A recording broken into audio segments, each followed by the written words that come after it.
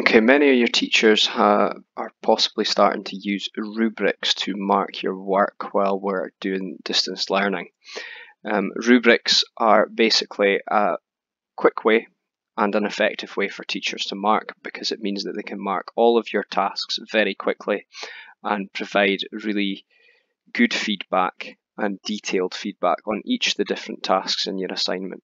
Okay, now when you first get an assignment, it's probably a good idea to go and look at the rubric which you can find just here.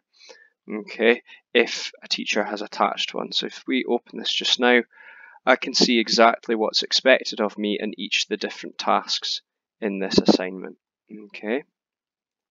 Now once a teacher has marked your work, which I'm just going to do just now, what it will do is it will show you how you've gotten on in each of the different tasks that you've done. Okay, so the teacher's just returned this task for me just now. And if I open this up,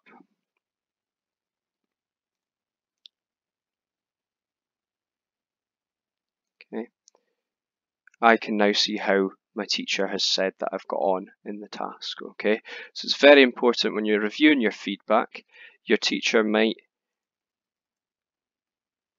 leave you a comment as well. If I just leave a comment from the teacher just now, teacher might leave you a comment which will appear just above the points. Okay.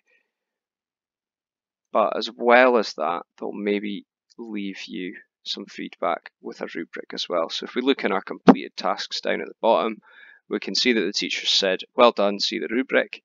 And if I click on the rubric there, I can see exactly how I got on in each of the different tasks.